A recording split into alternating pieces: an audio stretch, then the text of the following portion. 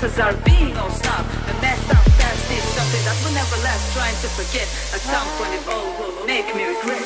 I rule my